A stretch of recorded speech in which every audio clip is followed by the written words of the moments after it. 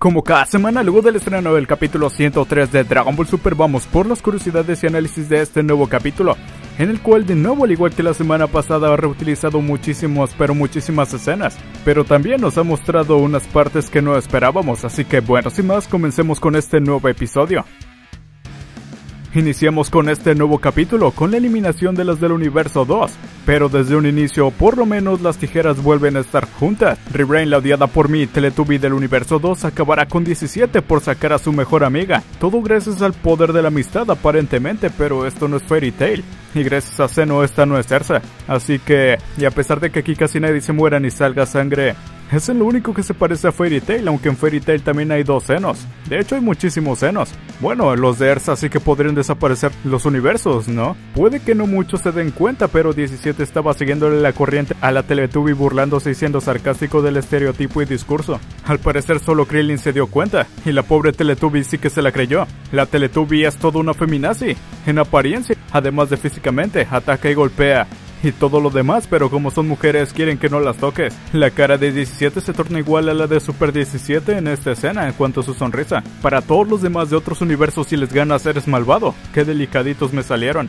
La Teletubby golpea con el trasero a 17 y 17 con el puño, o sea que 17 le tocó el trasero. Menos mal que trae guantes.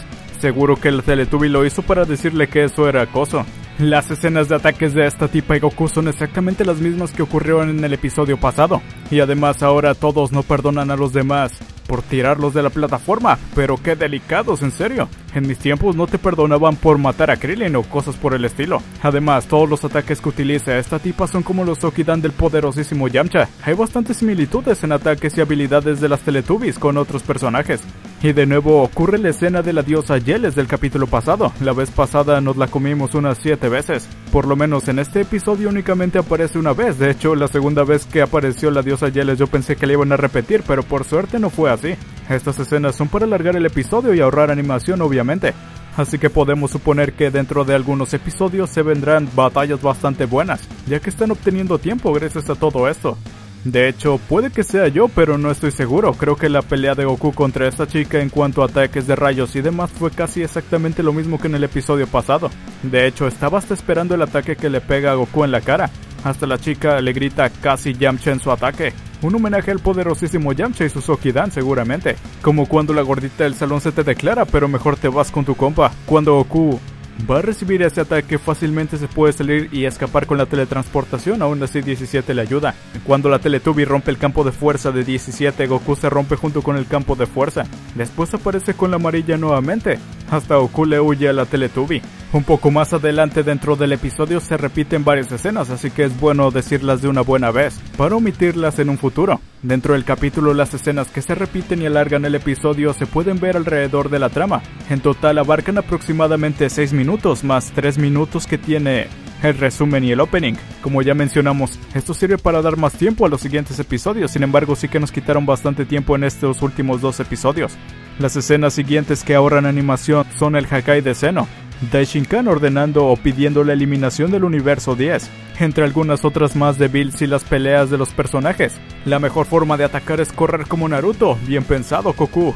Goku realiza un ataque más o menos nuevo, cerrando a los cuatro lados para que ésta no escape y disparándole con energía. Eso de que cada doncella tiene su caballero fue demasiado empalagoso y raro. Eso pasa cuando hay un universo lleno de femilocas. Ese Botamu a mí no me engaña, se metió muchísimos esteroides para este torneo. Exijo que para el siguiente realicen un antidoping. Vean nada más esos brazos y tamaño comparado con el de antes. Cuando Goku lo cargó en el torneo entre los universos 6 y 7 no era tan grande. Y los brazos mucho menos. Ahora mínimo es del tamaño de Magueta de ese torneo. Además, Botamo se convierte en el primer personaje del universo 6 que pelea contra todos los Saiyajins del universo 7 que han participado en torneos. Gohan nunca peleó antes contra Botamo y nadie le dijo que no recibía daño, aunque más adelante se dice que Goku le contó, sin embargo yo no sabía que este no se cansaba. Aunque, si esto es así como nos dijeron en el torneo de los universos 6 y 7, Botamo envía los golpes a otra dimensión entonces no tiene sentido que se levante con los golpes. Debería quedarse estático sin poder moverse. Se necesitarían empujones para poder moverlo, no golpes. Así que realmente fue una solución bastante barata. La escena de Bill se reutiliza de nuevo, como la de la diosa Yeres. Mientras Papi Verde ve a Gohan pelear llega Papi ausente. Para las batallas de su hijo y quizá para darle una semilla del ermitaño a Bótamo. Qué bueno que aquí están prohibidas. Bótamo y Gohan estaban a media pista y luego en otra orilla. Esa pista cambia mucho y a favor de Bótamo. Es fácil derrotar a los que confían en su fuerza. Super Bugotenks te decían Gohan, pero en ese entonces los niveles de poder todavía significaban algo, así que mejor olvídalo Gohan. Estás en tu derecho. Botamo es el primer eliminado del universo 6. Eso pasa por separarse de Botamageta. Ahora el universo 10 se queda casi sin peleadores, pero estos son los últimos en escena. Lástima que sabemos qué nos espera. La técnica del guerrero del universo 10 es como la mezcla del doble equipo e imagen reflejada dentro de Dragon Ball. Gohan ya peleó sin ver y escuchar antes, así que lo que dice Whis de que Gohan utiliza más la vista y el sentido del ki para pelear no tiene tanto sentido. Este guerrero supera todos los vistos del universo 10 y por primera vez la técnica de Piccolo funciona. De hecho fue exactamente igual a la pelea que tuvo con 17 en Dragon Ball Z, preguntando por qué dispara a todos lados menos a él. Pero aquí no hubo un campo de fuerza, así que Piccolo salió triunfando. La técnica de cegar al oponente con un ataque similar al Taioken es utilizada en Dragon Ball Xenoverse 2. El guerrero del universo 10 recuerda a Omega Cheron por esas esferas que tiene en el estómago. Sin embargo, aún más por una escena donde este es atacado por Gohan con un gran Kamehameha y parece que lo desintegra. Eso mismo le pasa en Dragon Ball GT Omega Cheron, solo que aquí este no muere, ni siquiera recibe daño. Al parecer cuando caen en sus asientos son curados automáticamente para luego desaparecer. Así es como se vio Gohan en este episodio. Sin embargo, así es como muchos lo vieron también. Personalmente me gusta mucho más la segunda. La fotografía que aparece de los personajes que fueron eliminados es una representación de las fotografías en los collares del siglo pasado. Esta curiosidad es gracias a Beto Roset Ramos, gracias por comentarla. De hecho, la foto que pueden ver en pantalla es la de Tarzán, o me parece que es la de Tarzán. Es bastante interesante que los universos eliminados hasta este momento han sido por el universo 7, en su totalidad del universo 9 y casi todos los del universo 10. Eso da como lección que no es bueno atacar a los protagonistas, quizá los demás universos que veamos también sean eliminados por el universo 7. Siendo así, los otros universos realmente no tienen a muchos peleadores capaces como lo es por parte del equipo de Bills. Además, ¿qué ha ocurrido con el personaje que todos aman? Ahora ya no lo amarán tanto. En este capítulo todos tristes por lo de su foto, pero ¿qué tal en el capítulo pasado? Añorando a la Teletubby. Aunque eso se podría justificar porque es un ataque de feromonas o cosas por el estilo. Sin embargo, igualmente, los demás universos que serán eliminados seguramente aparezcan contra el universo 7. Quizá veamos una disputa entre Freezer y Frost después de un tiempo, o ayudándose mutuamente, quién sabe. ¿Creen que Freezer consiga sacar a Frost o algún otro antes de que alguno de los dos caiga? Además de todo, puede ser que Gohan haya imaginado aquí a su familia más que sentir lástima por el otro. ¿Tú puedes darnos tu opinión respecto a esto? ¿Qué opinas? ¿Gohan imaginó a Pan, a Videl y o únicamente sintió lástima por su familia? ¿O quizá ambos?